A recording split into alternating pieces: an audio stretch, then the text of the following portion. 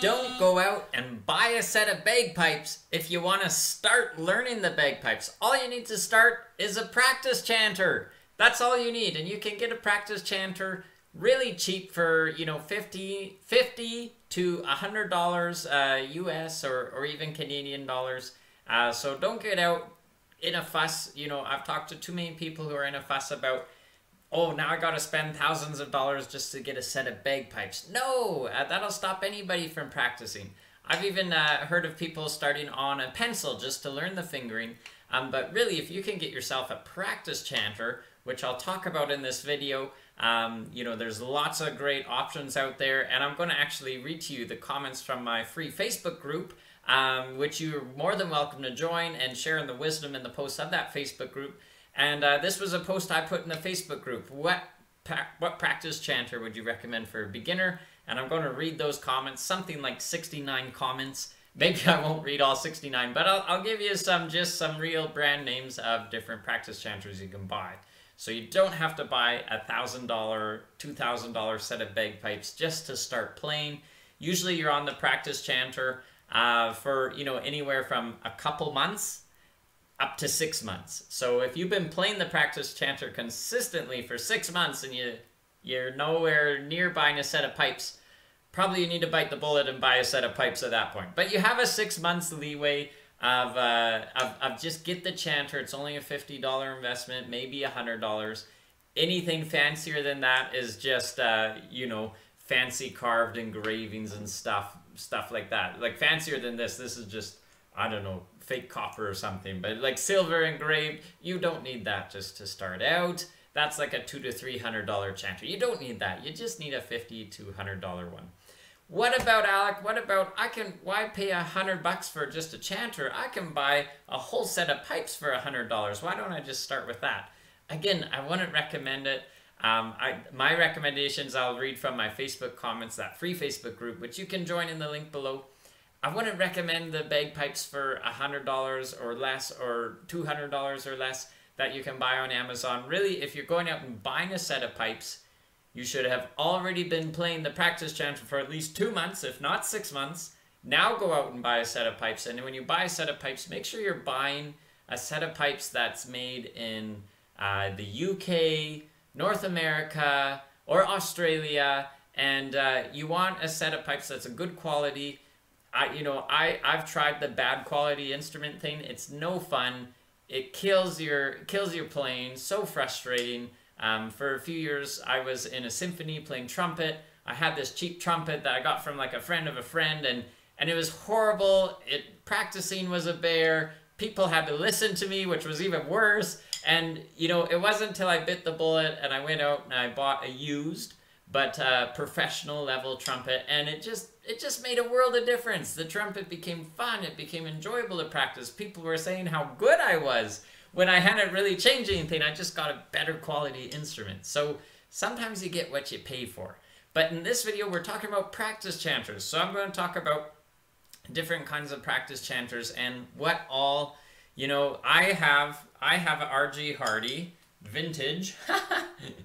it was uh, my grandpa's and my dad's and older brother. My older brother played for a long time. He got a new one, and I inherited it. So that's what I play. It's a short. Some chanters are longs. So I got too many chanters here. Some chanters are longs.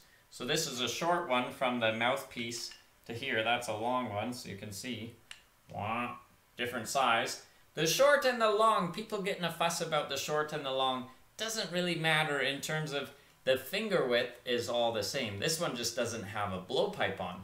But that finger width is all the same. There's just a lot of extra chanter here. Some people like it because they can hold that on their knee as they play or on the table as they play quite easily while they play so it's nice and steady. Some people like it because it's, it's the same size as a pipe chanter. So sometimes, you know, if it's designed right, it can go right into your right into your big set of pipes too. So that's kind of cool uh, with the long chanter. And uh, and some people just think, well, it still gets me used to used to that long chanter when I get to the big pipes. But really, that short chanter, it's the same fingering. So at the end of the day, it's the same fingering. Doesn't matter. And then the other chanter I have. Oh, and you might be wondering, oh, why does that one look different? So a chanter, you know, a, a mouth blown chanter has three parts. It has the top part, the bottom part. They go together. There'll be some hemp lined up so that top part can go on the bottom part. And then the third part, top part, bottom part. The third part's the reed. I've had questions. Oh, I got just a cheap plastic reed. Should I order a wooden reed? No, not for your practice chanter. That's all I have is just these little plastic reeds. I'm not going to get into all the different kinds of reeds, but it's just a just a plastic reed. Some are white, some are red. So really, I just experiment. Do I like the sound of the chanter? If I don't, or it seems too noisy or too hard to blow, put a little dental elastic around there, and you can adjust that dental elastic up or down uh, to your liking. So that's a trick I've done in the past. So that's the part. So let's get to the Facebook Facebook comments. And I'm I'm not going to read names because I didn't get permission of everybody to share names. I'm sure first names would be fine, but still, I'll I'll not say any names. But you know, this at the time of this video, the free Get Bagpipe Ready Facebook group. The link below is to join if you're interested. At the time of this video, we have 1,700 members. Uh, this post, I, I posted the question, what practice chanter would you recommend? Um, it's got four, 49. I think I said 69 before, so my apologies. 49 comments. Um, so, so I, you know, I posted a, a link I had found. It's called the 10 best practice chanters for sale um, in 2021. So I posted that link in the comments. So there's there's that resource.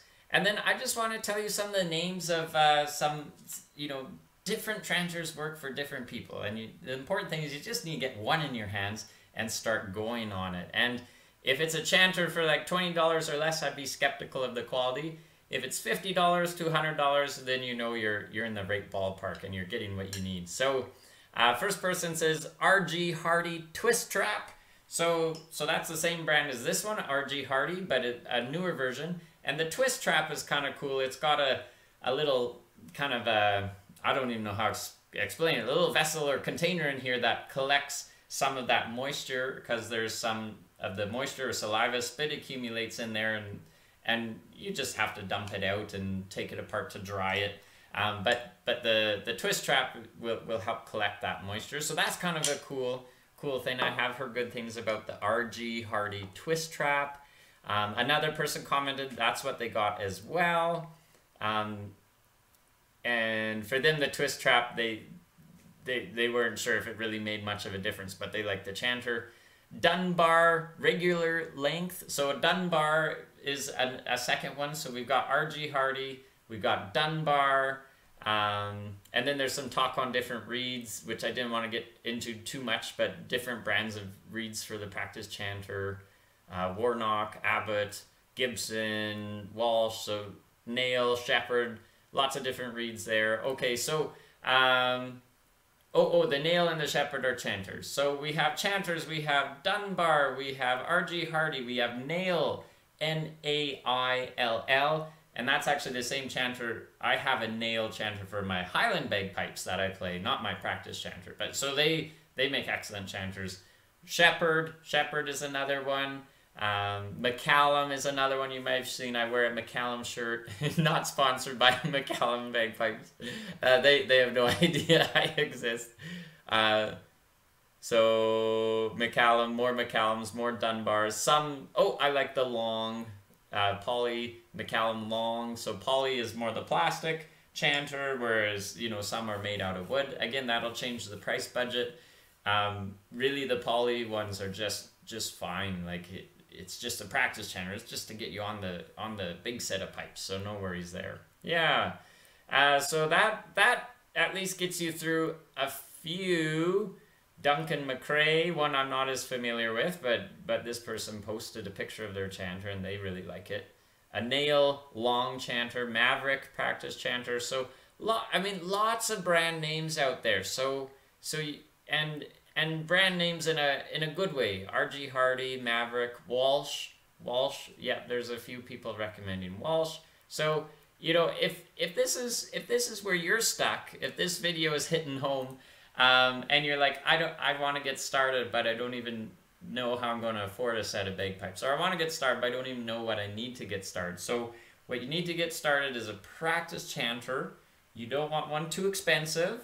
It shouldn't be in the two to three hundred dollar range, but it shouldn't be too cheap. It shouldn't be in the twenty to thirty dollar range either. So keep in mind some of those brand names I mentioned: Dunbar, Maverick, McCallum, uh, Shepherd, uh, R.G. Hardy, Walsh. Like so, it, any of those would be great. There's other options out there too. I'm missing. I'm sure. I just went through the first few comments of that. Those 49 comments in the free Facebook group, which you can check out below. Um, it can be short. It can be long. Not a not a big deal. If it's kind of tough to play initially or sounds really loud, try the elastic trick on the reed. And then one last thing to chat about is do you go electric? So this one I actually plug my earphones into and it's it has a battery and and it, it makes no sound other than what's going in my earbuds. Do you go electric or do you go mouth blowing? So that's that's the other question. Um, so I'd say if you can only afford one chanter, for sure go mouth blowing. Don't even worry about the electric one. Um, just go mouth blowing. If you can afford two chanters, or maybe you start with the mouth blowing and now you're hooked, then you could look at getting an electric chanter as a supplement. Um, the reason why we don't want to do the electric chanter without the mouth blown chanter is you're not working on your lip muscles, you're not working on your embouchure. And if your end goal is to get playing the, the Highland bagpipes, you need some lip muscles. You need to work on your embouchure, your, your musical muscles here in your in your lips and your face. So you want to be working on the mouth blown one. That being said, practicing is better than no practicing at all. So for special situations where you're in tight quarters with family, friends, uh, comrades, whatever the case may be, and they're not bagpipe enthusiasts, the electric chanter can be a great option. But I still wouldn't want to replace the mouth blown one. But if it allows you to practice even more, yeah, and you can afford that second one, get the electric one. And I, I I've done a video before on that. I have the Deger Deger pipes too is what I have. Um, there, I won't get it, but there is different electric chanter options out there.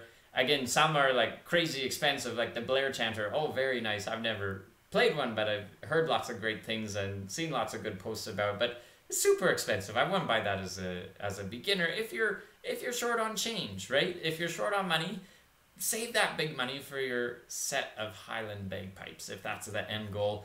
Um, don't get the crazy fancy chanter. If, if money is an issue, okay, that could be an option. But if you're if you're tight on funds, just a normal mouth blown practice chanter of any of those names I mentioned will be in that fifty to hundred dollar range. And uh, if you want more support for helping you get started on the bagpipes, I encourage you join the free Facebook group. We're one thousand seven hundred members strong at the start of this video, and it's just amazing to see all these all these awesome pipers uh, beginner pipers, intermediate pipers, experienced pipers, other other teachers, bagpipe teachers in the group, and they're they're just all helping each other out, and it's amazing even as a beginner how much help you can be by just sharing. Oh, this is what has worked for me, or oh, this is what was suggested to me, or oh, this is what I tried and didn't work for me. So, you know, it's it's helpful to somebody else in the group, let alone all the all the different experienced pipers in there as well helping out beginners. It's really a wonderful, a wonderful thing to see. So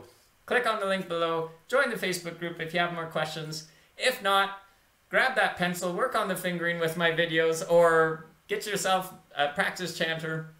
Not a $20 one, not a $200 one, just a $50, $200 one.